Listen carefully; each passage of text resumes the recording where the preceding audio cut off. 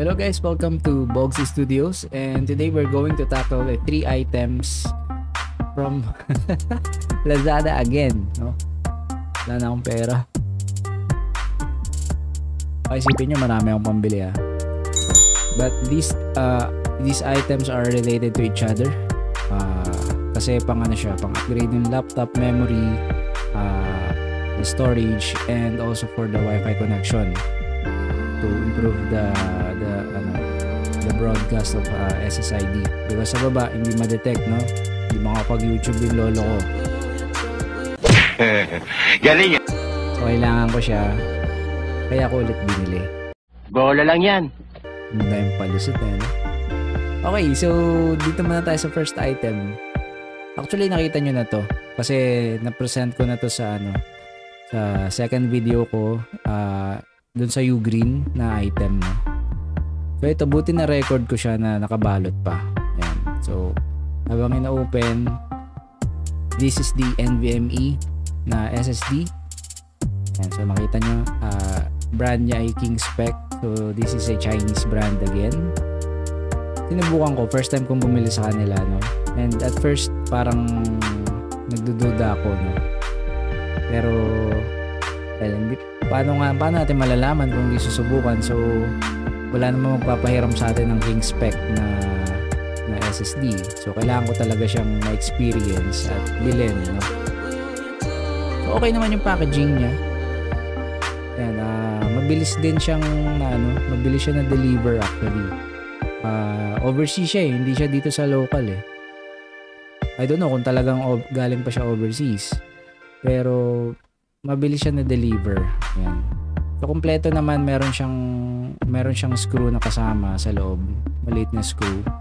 Pang ano, pang pang secure ng SSD kapag nilagay niyo na siya dun sa ano, sa motherboard or doon sa ano, PCI Express adapter. So yan siya, no. So alam niyo na, nakita niyo na siya, no. And so far na lagay ko na siya sa desktop ko. Okay naman yung performance But uh, beware lang kasi this kind of SSD is not wala siyang DRAM. So DRAM-less siya. So pag mga ganong SSD, uh, kapag lagi ka nagra-write, uh, for example, nagka-copy paste ka ng mga files, delete, copy paste, delete, ganun.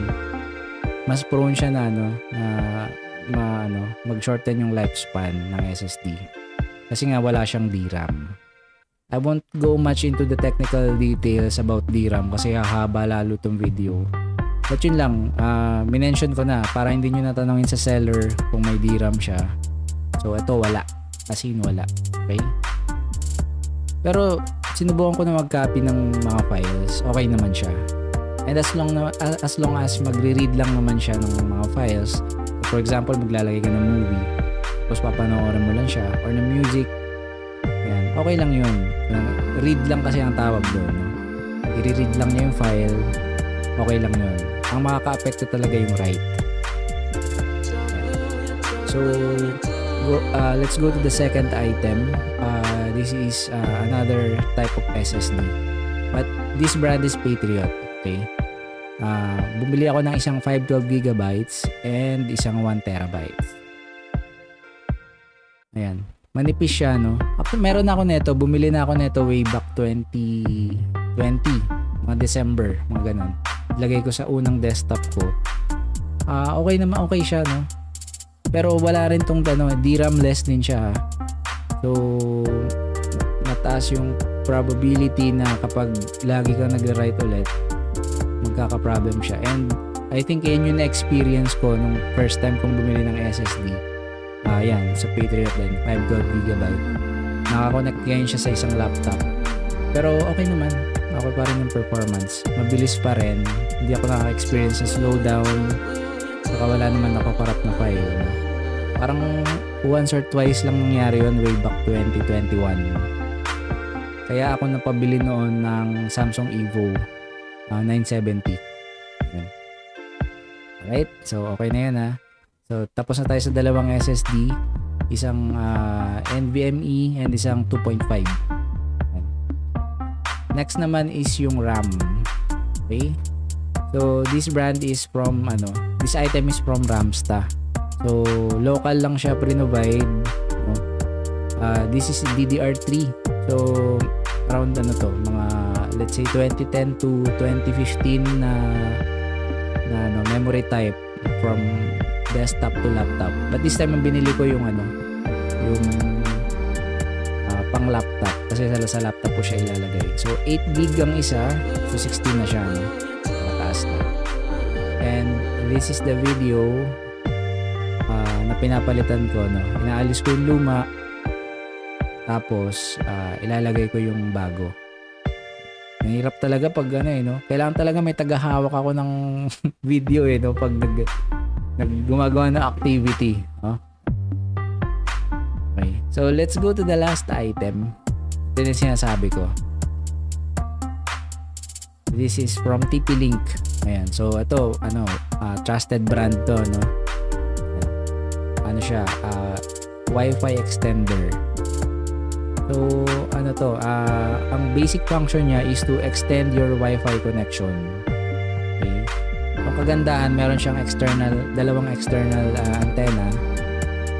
So, pampano, pampa-extend ng range. But this is for, uh, this only offers 2.4 GHz. Wala siyang 5 GHz.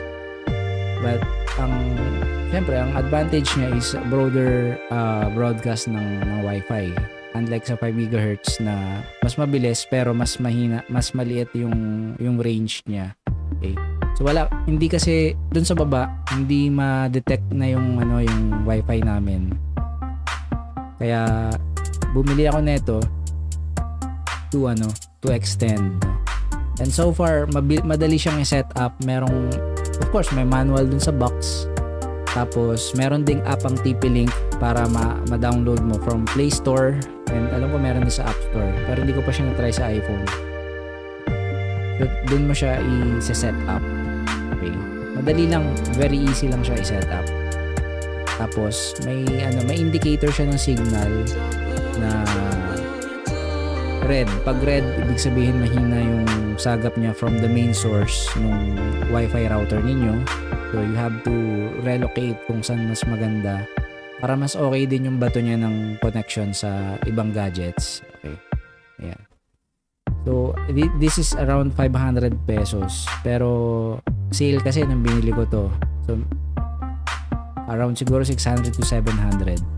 But if you have the money, uh, I advise to buy the ano, the the one with the 2.4 and 5 gigahertz para at least ma-maximize nyo yung mga gamit nyo na, may, na merong 5 gigahertz kasi mas mabilis talaga yung connection niya pag yun ang gamit niya.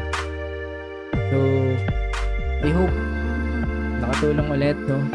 I, I'm not encouraging you to to buy bili ng bili sa Lazada. Pero kailangan ko kasi talaga to, no? And nagkaroon na ako ng time na mabuo ulit yung yung plano na i-upgrade yung laptop and yung connection namin. Kasi yun nga, hindi makapag-YouTube yung lolo ko. And the, syempre ako rin para pag nasa kusina ako, ano, makaka-receive pa rin ako ng notifications, especially at work. Ayan. Ayan. So, I hope nakatulong tong video na to. And uh, see you again guys on the next video. Bye-bye.